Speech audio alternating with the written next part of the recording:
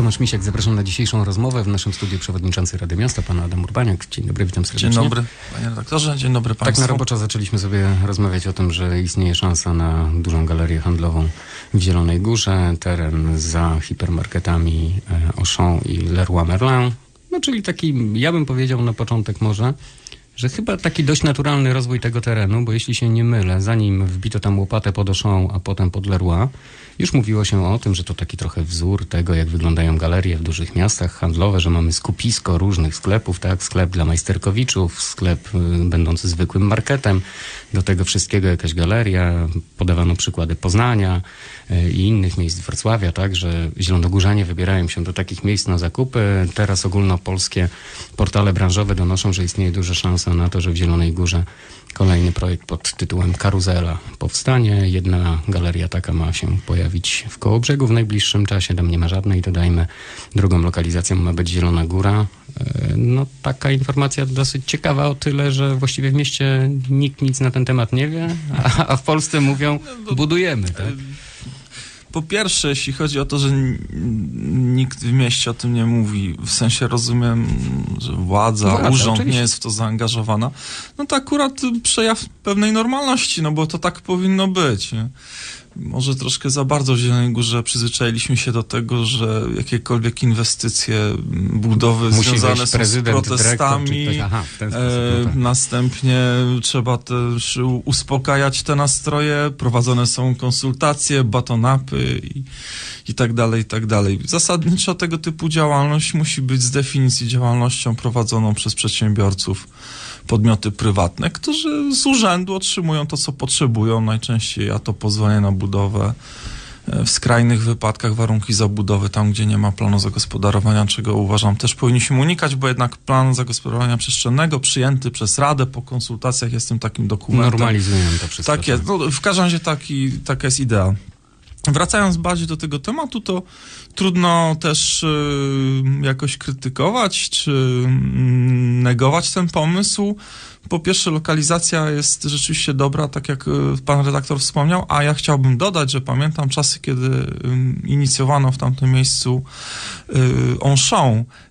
Wiele osób komentowało to w ten sposób, że jednak jest to daleko od centrum i owszem, podawano przykłady tego typu lokalizacji w Europie Zachodniej, gdzie jednak ten handel wielkopowierzchniowy starano się odsuwać ze no względu zresztą zrozumiałych. trochę pokutował Carrefour wybudowany w centrum miasta no bo i to jakby była taka przeciwwaga i bardzo tak. poważny jakby kontrargument. Natomiast no, y, jeśli mamy perspektywę rozwoju tego miejsca, a przypomnę, że tam mówiono o wyjątkowo ulubionym przez y, sporo, y, sporą część Polaków w sklepie typu Decathlon, bo też się przymierzano, więc kto wie, czy w perspektywie to się też tam No taka galeria handlowa zakłada bardzo możliwe, Więc że będzie to odciążenie dla obecnie funkcjonującej, często mocno przeładowanej galerii i chyba tutaj trudno na tą inwestycję narzekać. Natomiast to też taki znak czasów, bo ja doskonale pamiętam rok bodajże 98-99, gdzie ten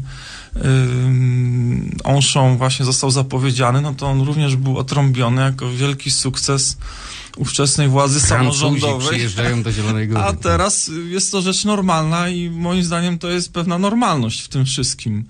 Oczywiście no, byłoby lepiej, gdybyśmy się dowiedzieli o lokalizacji jakiegoś właśnie, poważnego zakładu o charakterze tak. przemysłowym.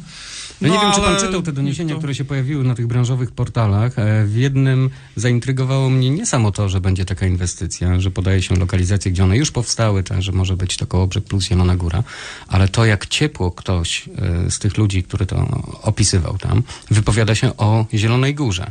To jest e, taki... To może zielonogórzanin, bo ja mam wrażenie, nie że mam nasi są myślę, wszędzie. Myślę, myślę, że to jest no, jakaś duża korporacja, która umiejscowiona jest gdzieś zupełnie inaczej. Może zielonogórzanin z urodzenia, kto wie, może tutaj ma, nie ma to większego znaczenia. Natomiast Ale to e, miłe. około brzegu mówi tak, tak, koło brzeg nic nie mają, będą mieli w końcu galerię, a Zielona Góra, e, centrum logistyczne wielu firm, e, taka mikrodolina e, krzemowa rodząca się.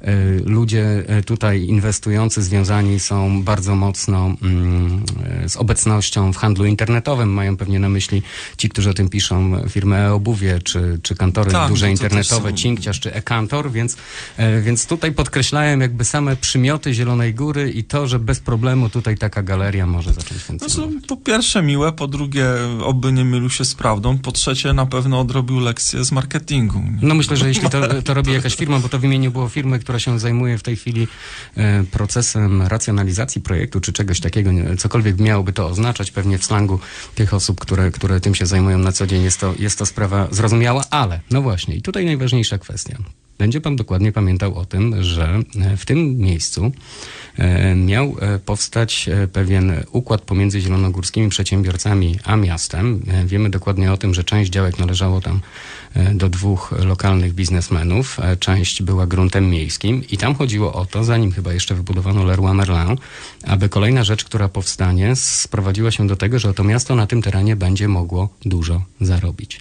No i teraz pytanie, jak będą rozwiązane te wszystkie kwestie? Czy mówimy dokładnie o tym terenie, czy o jakimkolwiek innym? Tu na razie to wszystko jest enigmatyczne. Tak, tak? ja nawet nie jestem w stanie się do tego odnieść, dlatego że mm, po pierwsze to jest kwestia obszaru, czy mówimy dokładnie o tym samym miejscu, czy nie.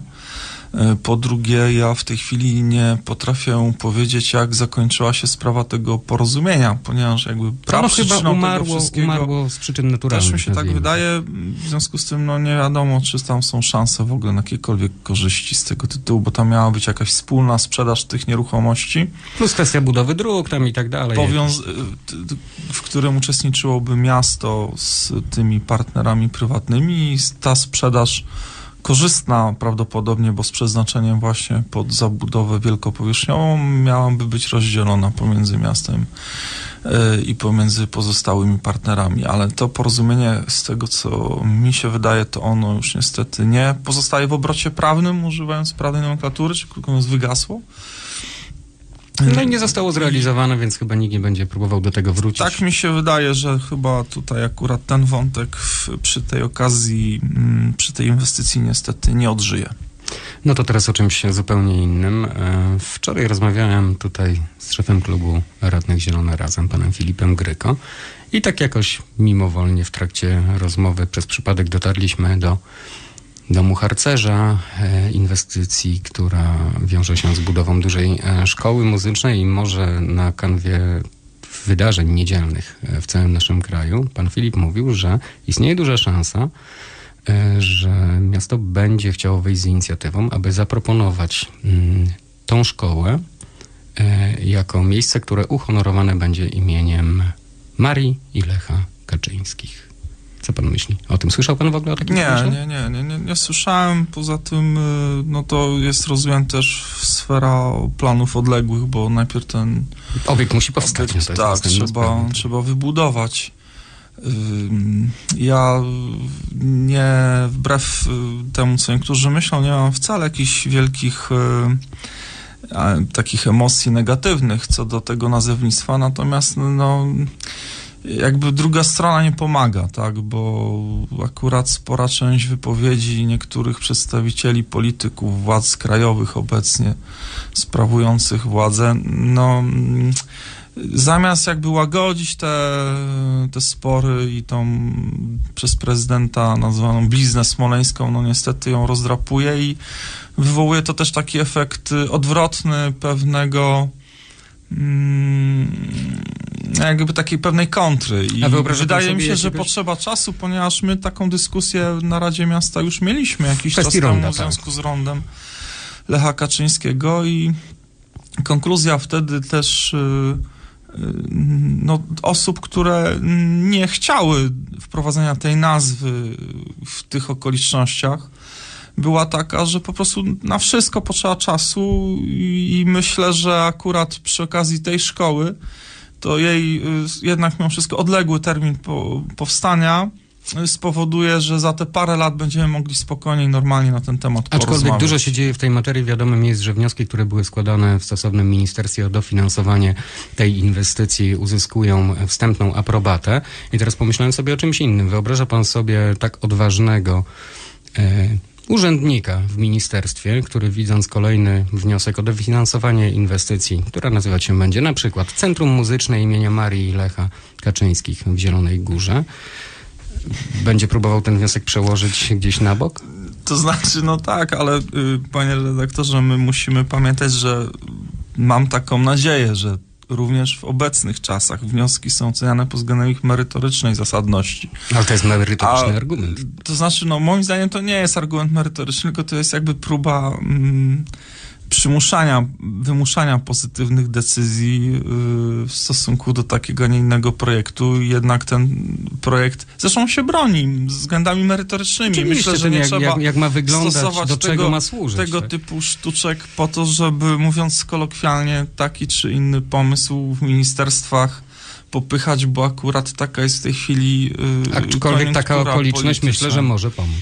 No to właściwie myślę, że można ten y, pomysł implementować na przeróżne inne obszary. Za chwilę będziemy dyskutować o obwodnicy południowej. Również można nazwać, że wnioskujemy o dofinansowanie. Pan, ja się trochę tego obawiam po tym właśnie, co wydarzyło się w niedzielę, po tym, co mówił na przykład prezes Jarosław e, Kaczyński, chociażby w kwestii budowy e, pomników, które mają powstać na krakowskim przedmieściu. Jest tablica, Teraz mówi się o przynajmniej dwóch pomnikach. Wcześniej nazywane były instalacją. Tu już było powiedziane wprost, pomnik to pomnik, mają być pomniki. Jeden Lecha Kaczyńskiego, drugi pomnik, który ma uczcić ofiary. I teraz pan mówi o tym, że takie sztuczki mogą być stosowane. Oczywiście, że mogą. W każdym samorządzie w naszym kraju. W Zielonej Górze za moment będziemy e, stawali przed faktem no zresztą zapowiadanym już wcześniej, że będziemy mieli pomnik świętego Urbana. Tutaj wszystko jest y, bardzo elegancko, zgodnie w zgodzie z tradycją miasta, wybrana lokalizacja teraz będzie... No, patron miejski. Jest patron jest miejski wszystko, i, tu się, i tu się wszystko zgadza. Natomiast ja się nie zdziwię wcale, jak za moment e, wróci pomysł pana Jerzego Materny, no on teraz jest zajęty w ministerstwie różnymi innymi sprawami, może mniej interesuje się Zieloną Górą, ale to on postulował, żeby na Alei Niepodległości stał pomnik związany e, z ofiarami tragedii no tak, tylko no ja jeszcze raz powtórzę, że mm, ten wymowa znacznej części wypowiedzi w, z obchodów y, szóstej rocznicy katastrofy smoleńskiej y, w kontekście, że po raz pierwszy w ogóle one są obchodzone, że się przywraca pamięć tych ofiar.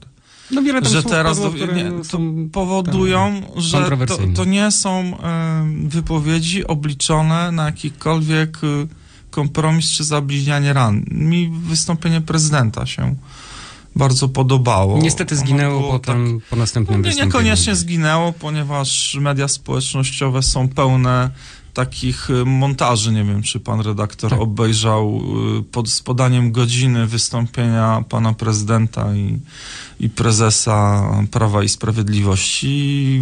Poszczególne zdania są tam ze sobą konfrontowane i warto to obejrzeć, że znaczy, jak można mówić... Yy, o tym samym w dwa tak różne... jest, w taki sposób, który nasze społeczeństwo będzie jednak yy, jednoczyło, integrowało wokół tej tragedii, tak jak to było krótko po, yy, po tej katastrofie, po tym, kiedy ta informacja została do, podana do opinii publicznej.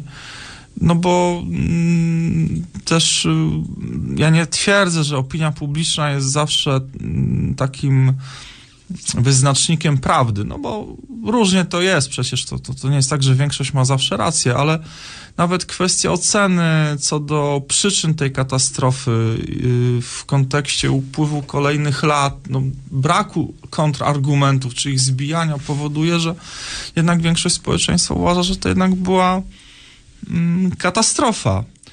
Y, a nie inne przyczyny nadzwyczajne nie, nie spowodowały tego, więc no, po prostu to nie ma absolutnie sensu, moim zdaniem, uprawianie polityki wokół wokół tego zagadnienia, tak Ale się dzieje. Jest I teraz, i będzie uprawiana. I, I, teraz świeżo po tych wypowiedziach zgłaszanie kolejnych y, tego typu propozycji świeżo po, w ciągu kilku tygodni, na pewno nie będą służyły E, dialogowi publicznemu w naszym mieście. I jakbym chciał przed tym przestrzec, żeby jakby e, polityka i chęć uzyskania jakichś wymiernych korzyści chwilowych, politycznych nie przysłoniły tego, co jest w tej sprawie najważniejsze. To jest ofiar samego wydarzenia i pamięci tych ludzi 96 z panem prezydentem i panią prezydentową na czele, która im się po prostu należy, żeby była ona spokojna i godna. No i możemy w ten sposób zamknąć ten temat, a to, że prawda może być e, różna, kiedyś chyba najbardziej jasno i klarownie powiedział ksiądz Tischner. Już tak, nawet nie będziemy cytować, ale może warto czasami No bo nie wiem, czy nie trzeba by było wypikać tej może, trzeciej prawdy. Może i tak e, trzeba byłoby zrobić. E, tak sobie pomyślałem, że jak już rozmawiamy o tych wszystkich rzeczach, które są nieco ogólnopolskie, to dzisiaj Gazeta Polska pisze na pierwszej stronie albo wytłuszcza mocno ten artykuł, że oto trzeba będzie zrobić porządek z Komisją Wenecką. To też trochę konsekwencja tego, co dzieje się w naszym kraju i nie będzie tam już pani Hanny Suchockiej, a będziemy tam mieli zupełnie nowego przedstawiciela, żeby było ciekawiej. Mamy tu wątek zielonogórski, bo okazuje się, że istnieje jakieś prawdopodobieństwo. Podobno jest to faworyt Prawa i Sprawiedliwości. Profesor Banaszek, który jest dziekanem Wydziału Prawa w Zielonej Górze ma ewentualnie aspirować do tego, aby objąć to e, stanowisko. Myśli pan, że można mówić o tym, że mieliśmy w Komisji Weneckiej do tej pory zdrajców Polski, a teraz będziemy mieli porządnych e, członków tej komisji?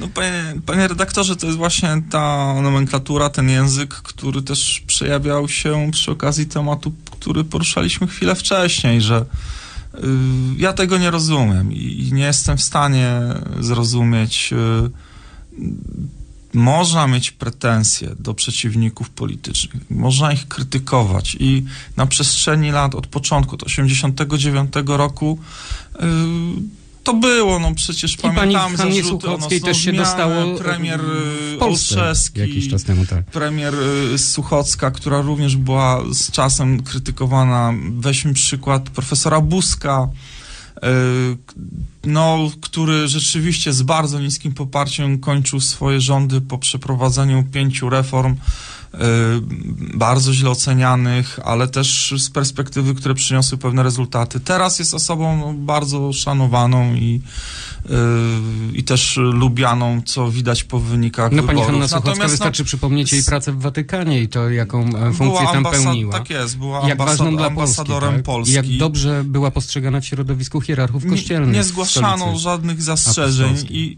no i teraz nagle od wyborów okazuje się, że dzielimy się na my naród suweren, a reszta to zdrajcy i E, nie wiem, sprzedawczyki, tam jedni służą Rosji, no, inni Niemcom, tak jak, i to nawet nie ma tak jak widzę. I to, i, I to mnie tam powiedzieć martwi to mało.